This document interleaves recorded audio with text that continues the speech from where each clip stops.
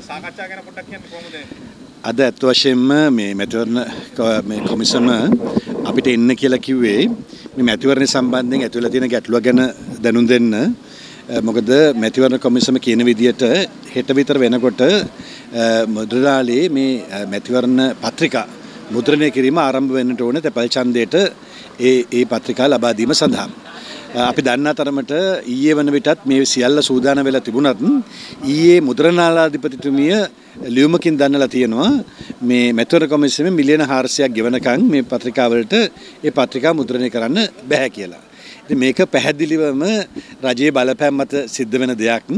මොකද මේ සියල්ල සූදානම් වෙලා තිබිලා මේ හදිසියෙ මෙහෙම වෙන්නේ මේ අර කරකට පෙර අර නීල් හපු වෙන මහත්තයා අරපු ලියුම වගේම වැඩක් වගේ තමයි අපිට මේක පේන්නේ. මොකද ඉතිහාසයේ මීට පෙර කිසිම අවස්ථාවක අ, මේ විදියට මේ අ, අත්පිට මුදලට මුදල් ගෙවලා මැතිවරණ පත්‍රිකා ප- මේ මුද්‍රණය කරගෙන නැහැ මැතිවරණ කොමිසම.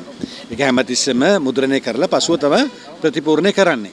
ඉතින් මේ අවස්ථාවේ මේ විදියට මුදල් ගෙවන්න කියලා කලින් මැතිවරණ කොමිසමට කීමත් මැතිවරණ කොමිසමට ඒ සඳහා මුදල් රජය මගින් ලබා නොදීමත් ඉතාමත්ම නිර්ලජ්ජිත උත්සාහයක් රජය විසින් දරනු ලබන මේ මැතිවරණය පැවැත්වීම බාධා කිරීම සඳහා. ඉතින් මේක මම හිතන්නේ ප්‍රජාතන්ත්‍රවාදයට කරන්න පුළුවන් නරකම පූර්වාදර්ශයක් තමයි මේ දෙන්නේ. මොකද මේක අපිට පිළි මේක අපි පිළිගත්තොත් ඉස්සරහට මේක ඕන වෙලාවක කරන්න පුළුවන්. ඕනේ මැතිවරණයකට අපි ඉස්සර ජනාධිපතිවරණය ආපුවම මැතිවරණ මේ බුද- මේ ඡන්දපත්‍රිකාපත් කිරීමෙන් මුදල් දොදී ඉන්න පුළුවන්.